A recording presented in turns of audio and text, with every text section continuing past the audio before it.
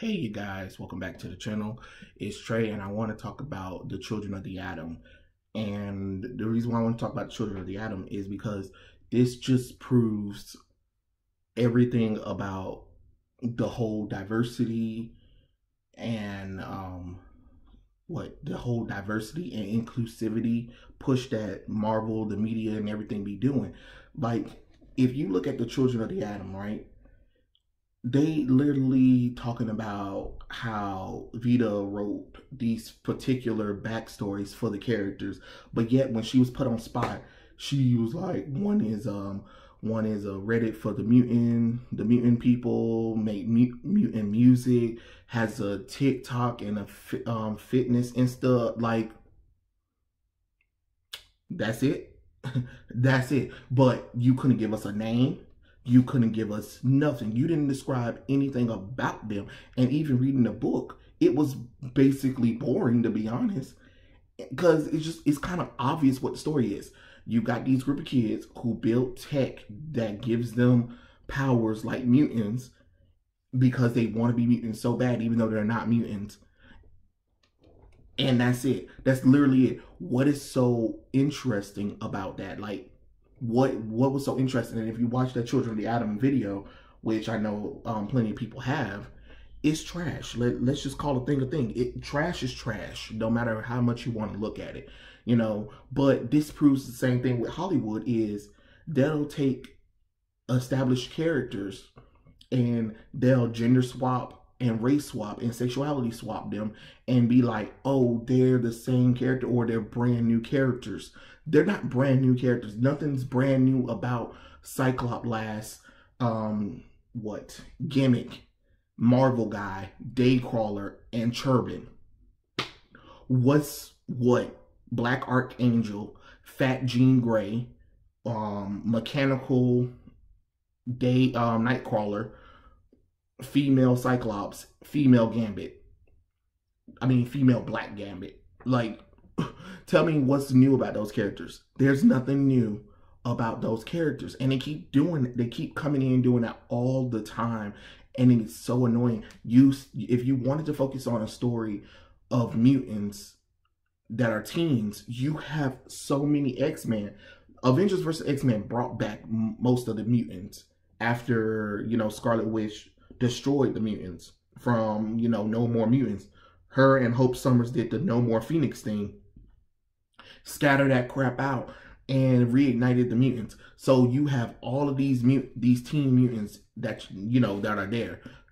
Don't sit up here and pretend like there's not any teen mutants or people who don't support or whatever and stuff like that. Like if you're going to do something like that, you introduce them as just supporting characters in the X-Men book. If you really want to have human characters that have the support, but to have human characters that tries to interact with the mutants and try to pretend to be mutants, that's not a good look. That's not a good look, to be honest. Because right now, really, that's really what they are. Cosplayers.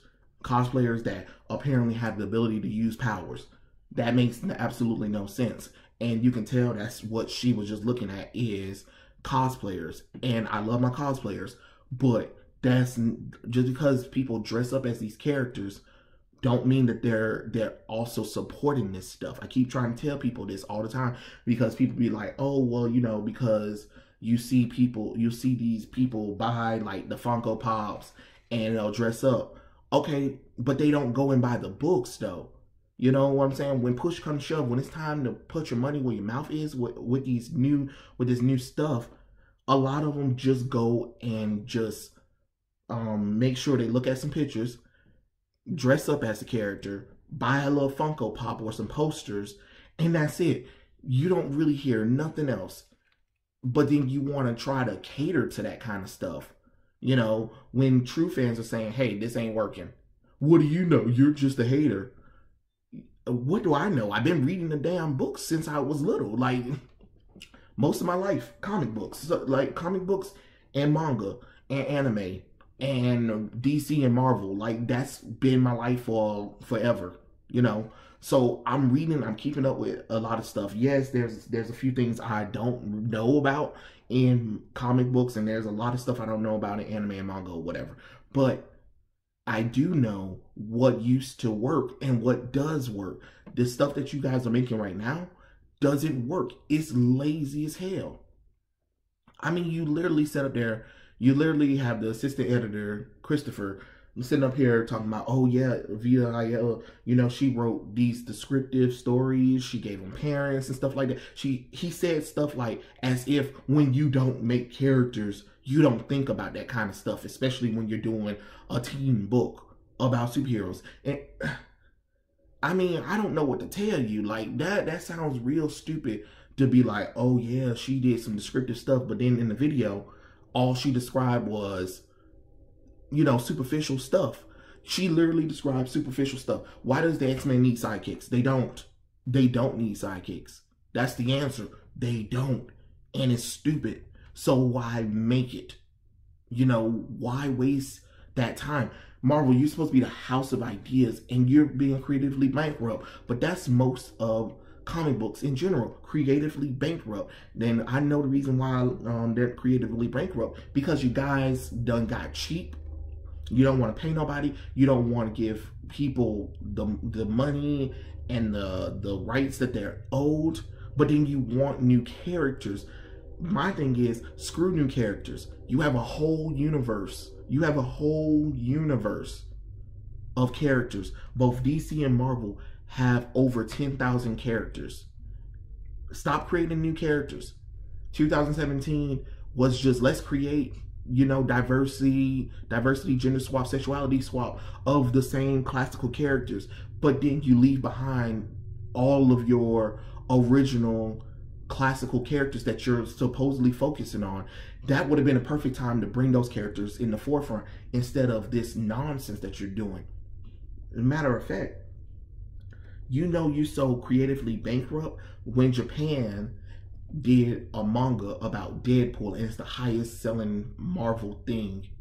And it's not even it's not even published through Marvel. Ain't that something?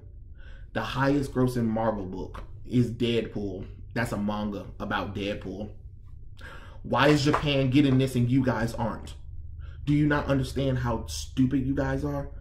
Why is Japan understanding the value of character, story, over the house of ideas. It makes absolutely no damn sense. And then when you guys try it, you guys want to try to come in, you want to try to run things, you want to try to tell them how the, the, characters are supposed to be, or you want to try to restrict what they're doing with characters or how they're writing their stories. But guess what? What they're doing sells. What you're doing doesn't sell. It turns people off. It turns people off no matter how much you want to look at it.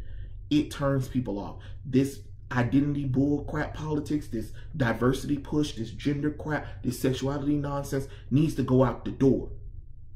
Until you can take the characters that you already have and make good stories about them, stop making new characters. This goes for DC, this goes for Marvel. Stop making new characters.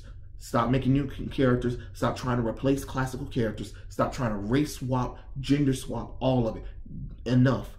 Enough is enough. Not when you have other characters that sit there. Because there's a lot of mutants. I seen them. I I seen a lot of mutants. I don't remember half the names or what they can do. But when I was reading, there were so many different mutants in the population of X-Men and even DC before the New 52, there were so many characters that I'd never even heard of that was running around in DC that was showing up in so many different books. But yet you reboots or you do soft relaunches and pretend like those characters don't exist. I don't understand. This crap is stupid. You gotta stop with the nonsense.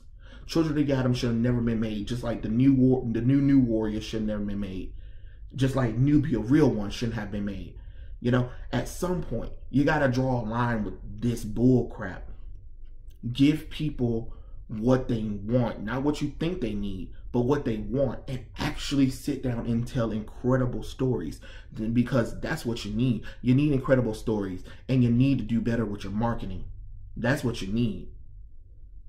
Because all of this crap that you you're doing doesn't work. It doesn't work and it doesn't sell. And then you're trying to increase the price to artificially get money from the loss of fans that you already did. You're going to have to turn this stuff around and you're going to have to be like, look, um we tried it. We tried your we tried the, these new ways. It's not working. It's not selling. What used to sell?